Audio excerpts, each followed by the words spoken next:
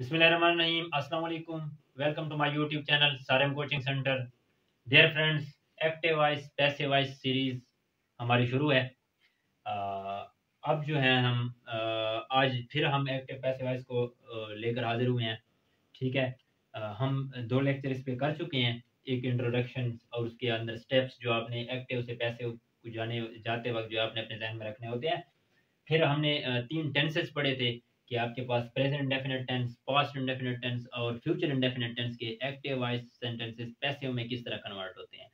आज हम पढ़ने जा रहे हैं प्रेजेंट कंटिन्यूस को आ, और जो है आपके पास एक आपके पास हो जाएगा प्रेजेंट कंटिन्यूस और एक आपके पास पास्ट कंटिन्यूस ठीक है प्रेजेंट कंटिन्यूस टेंस के जो आ, आपके पास active tenses active voice sentences जो होते हैं, उनको पैसिव में किस तरह चेंज करते हैं और जो है आपके पास जो पोस्ट कंटिन्यूस टेंस है, उसके सेंटेंसेस को किस तरह आप टेंस पैसिव वाइज में चेंज करते हैं। ठीक है? एक प्रेजेंट कंटिन्यूस और पोस्ट कंटिन्यूस आपको सिंपल सेंटेंस के इनके स्ट्रक्चर पता है, किस तरह होते हैं। ठीक है? इसका जो सिंपल सेंटेंस का स्ट्रक्चर है पहले पहले आपके पास सब्जेक्ट होता है, या उधर, इधर एजेंट होगा। ठीक है?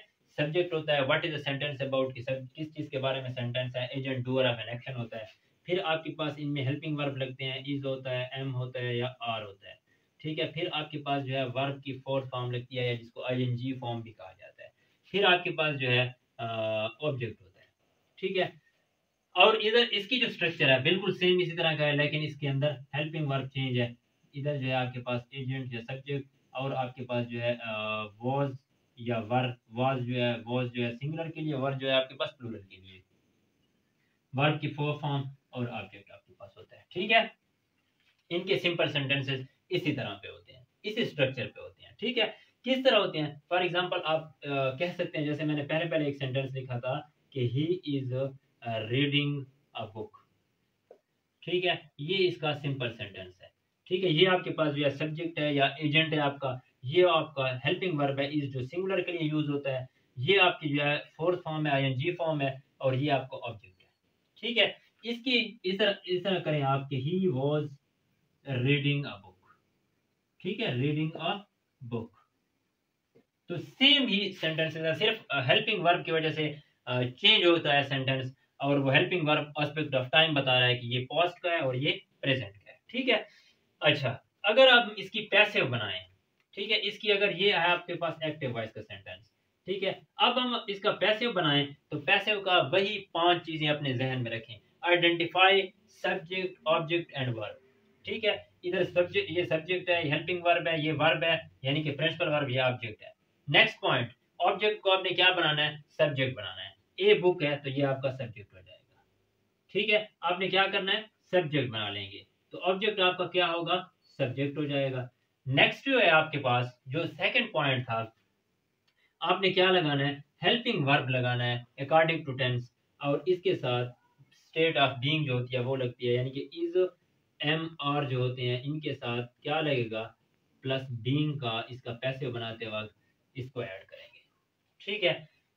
ये ऐसी चीज़ होती है, आपके पास बी वर्ब्स होते हैं, जिनको कहा जाता है बी वर्ब्स और ये बी वर्ब क्या होते हैं? ये इसकी जो फ़र्स्ट फॉर्म है बी होती है, जो सेकंड फॉर्म है, वो वॉज़ या वर होते हैं, और जो आपके पास थर्ड फॉर्म होती है, वो बीन होती है, और जो फोर्थ फॉर्म होती है, वो बीन होती है। अब ये फोर्थ फॉर्म के साथ हमेशा बीन ही लगेगा, ठीक है? असल में ये चीज़ होती है। लेकिन मैंने कहा कि इस पर आप ज़्यादा कंफ्यूज होंगे, इसलिए मैं उधर तक आपको नहीं लेकेगा ये जो बी होता है, ये होता है इज़ एम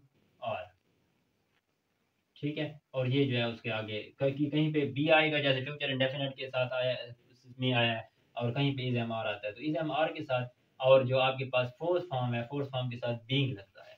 और इधर जो रीडिंग था थर्ड फॉर्म थी तो थर्ड फॉर्म ही आएगा, और प्लस आपके पास जो एजेंट है, वो लास्ट पे आएगा, और बाय भी आएगा। ठीक है? और इसकी सेंटेंस स्ट्रक्चर बिल्कुल इस तरह है वॉज़ वर ऑब्जेक्ट आपका पहले आ जाएगा प्लस जो आपका वॉज़ वर वॉज़ और वर्ड प्लस जो है आपकी फोर्थ फॉर्म और वो में बींग आएगा और प्लस जो है आपके पास जो थर्ड फॉर्म है वो आएगी और प्लस बाय और प्लस ऑब्जेक्ट अब इन सेंटेंसेस को अगर हम कन्वर्ट करें तो ये आएगा ए बुक और आपके पास जो ए बुक के बाद क्या लगेगा? सिंगुलर है तो इज़ आएगा। इसके साथ हमने बींग लगाना है। इज़ बींग और थर्ड फॉर्म लगानी है रीड की तो वो रेड हो गई और बाय लगाना है और उसके बाद ही है। तो हम क्या करेंगे? करेंगे ठीक है? इस तरह अगर हमारे पास ये सेंटेंस देखें तो फिर वही का वही सेंटेंस आएगा कि a book was being read by him कोई इतना मुश्किल सेंटेंसेस या एक्टिव से पैसिव जाना कोई इतना मुश्किल नहीं है। ये प्रेजेंट कंटिन्यूस और वो पास्ट कंटिन्यूस ठीक है? अब हम आते हैं आपके पास कुछ और टेंसेस लेकर, जिसमें आपके पास प्रेजेंट परफेक्ट टेंस और आपके पास पास्ट परफेक्ट टेंस और फ्यूचर परफेक्ट ठीक है? एक है हमारे पास प्रेजेंट परफेक्ट टेंस ठीक है? प्रेजेंट परफेक्ट टेंस दूसरा हमारे पास है पोस्ट परफेक्ट टेंस और नेक्स्ट हमारे पास है फ्यूचर परफेक्ट टेंस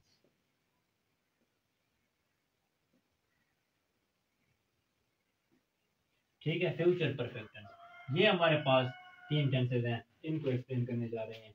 जो प्रेजेंट टेंस परफेक्ट टेंस है, इसके हमारे पास जो एक्टिव वॉइस या सिंपल सेंटेंस का स्ट्रक्चर होता है, पहले पहले हमारे पास सब्जेक्ट आता है, फिर आपके पास हेल्पिंग वर्ब आते हैं हैज़ या हैव ठीक है हैज़ है सिंगुलर फॉर्म है हैव है प्लूरल फॉर्म है, फिर आपके पास थर्ड फॉर्म आती है सिंपल सेंटेंसेस के अंदर भी परफेक्ट के अंदर थर्ड फॉर्म आती है।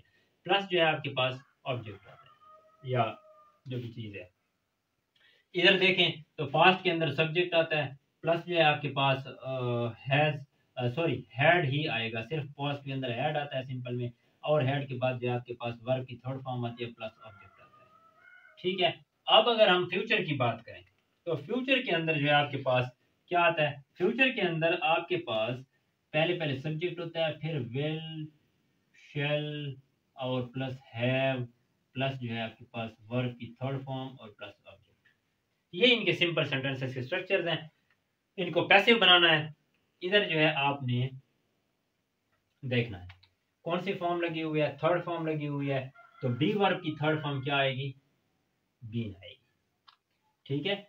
इसको देखें। इसकी जो मेन वर्ब की थर्ड फॉर्म है बी वर्ब की वही थर्ड फॉर्म आएगी। ठीक है? कैसे आएगी? इधर इसकी पैसिव बनाते वक्त आपने ऑब्जेक्ट को जो है सब्जेक्ट बना देना है। फिर आपने जो है हैज़ है वैसे ही आएँगे। ठीक है? अब इसके साथ वर्ब की थर्ड फॉर्म लगी हुई है प्रिंसिपल तो आपने इधर बी वर्ब की भी क्या लगानी है? बीन लगाना है। ठीक है? क्या लगाना है? बीन का आपने ऐड करना है। जो आपके पास नेक्स्ट है नेक्स्ट पॉइंट है, वो वर्ब की थर्ड फॉर्म है प्लस जो आपके पास बाय आता है, और प्लस आपके पास जो सब्जेक्ट था, या एजेंट था, वो आएगा। इसका भी सेम वही स्ट्रक्चर ठीक है? सेम वही स्ट्रक्चर सब्जेक्ट प्लस आपने हेड प्लस थर्ड फॉर्म है तो बी वर्ब की थर्ड फॉर्म आपके पास क्या आएगी? बीन आएगी। और आपने क्या लगाना है? वर्ब की थर्ड फॉर्म लगानी है प्लस बाय लगाना है और प्लस ऑब्जेक्ट लगाना है। ठीक है, इधर भी आपने वही लगाना है सब्जेक्ट लगाना है। सॉरी इधर सब्जेक्ट नहीं आएगा, इधर ऑब्जेक्ट आएगा और इधर जो है आपका सब्जेक्ट आएगा। ठीक है, इधर जो है आपका ऑब्जेक्ट आएगा पहले सब्जेक्ट ऑब्जेक्ट जो आपका सब्जेक्ट बनेगा प्लस विल हैव विल और शेल और प्लस जो है आपका हैव और हैव के साथ जो है इधर जो थर्ड फॉर्म है तो बी वर्ब की थर्ड फॉर्म जो है बीन आएगी और जो है आपके पास ऑब्जेक्ट लिखा हुआ है तो इधर ऑब्जेक्ट की जगह पे सब्जेक्ट आपका ठीक है? यही स्ट्रक्चर है। कोई इतना मुश्किल नहीं है। ठीक है? अगर मैं लिखूं कि they have played cricket they have played cricket ठीक है? एक ही सेंटेंस से मैं तीनों को एक्सप्लेन करूँगा। दे हैव प्लेड क्रिकेट ठीक है? तो मैं लिखता हूँ कि क्रिकेट अब इधर था दे प्लूरल उसके साथ हमने लगाया है अब क्रिकेट को हमने सब्जेक्ट बनाया। वो वो आ गया सिंगुलर तो हमने हैज़ लगाना है। बी वर्ब की जो थर्ड फॉर्म थी, वो हमारे पास बीन है हैज़ बीन आएगा, और आपके पास प्लेड आएगा, और बाय देम ठीक है? ये आपके पास जो है, इसका पैसिव बन गया प्रेजेंट अब अगर इधर हम करें दे हैड प्लेड क्रिकेट तो cricket had been played by them अगर इसको इस तरह इस तरह करें कि they they will have played cricket तो cricket will have been played by them तो कोई इतना मुश्किल नहीं है एक्टिव से पैसिव जाना। तो यही सिंपल सेंटेंस स्ट्रक्चर है इनके। जो आपका मेन कंसेप्ट था, जो मैंने बी वर्ब लास्ट में आपको बताए हैं, उसका एक सेंटेंस स्ट्रक्चर जो मेन आपके पास सेंटेंस स्ट्रक्चर है, वो ये होता है कि जब आपने जब एक्टिव से आपके पास कोई भी अगर एक्टिव वॉइस है, और आपने क्या बनाना है, आपने बनाना है आपको एक्टिव वॉइस के अंदर आपका सब्जेक्ट होता है प्लस अगर पॉसिबल है हेल्पिंग वर्ब तो वो आएगा। अगर हेल्पिंग वर्ब नहीं है पॉसिबल तो वो नहीं आएगा। और आपके पास अगर वहाँ टेंस के अंदर पॉसिबल है तो आपके पास जो है वर्ब की वर्ब आता है और वर्ब की फ़र्स्ट फॉर्म सेकंड फॉर्म जो भी है मेन वर्ब आपका जो है प्रिंसिपल वर्ब है प्लस ऑब्जेक्ट होता है। ठीक है? अब अगर हम इसको पैसिव में कन्वर्ट करें तो पैसिव के अंदर आपके पास ऑब्जेक्ट इधर आएगा और आपके पास जो है ये सब्जेक्ट होता है बेसिकली ठीक है? जो ऑब्जेक्ट इधर होगा सब्जेक्ट बनेगा। आपके पास जो हेल्पिंग वर्ब है, ये भी वर्ब बनेंगे। ठीक है? और प्रिंसिपल वर्ब जो है, वो थर्ड फॉर्म बनेगी प्लस आपके पास बाय और प्लस एजेंट ठीक है? ये बी वर्ब क्या होते हैं? ये बी वर्ब हमारे पास जो है, ये चीज़ है। बी की फ़र्स्ट फॉर्म बी होती है। सेकंड फॉर्म इसकी वॉज़ सिंगुलर के लिए वर जो है प्लूरल के लिए। थर्ड फॉर्म इसकी बीन है, और फोर्थ फॉर्म इसकी क्या है, वो है बीइंग आईएनजी फॉर्म के साथ जो लगती है।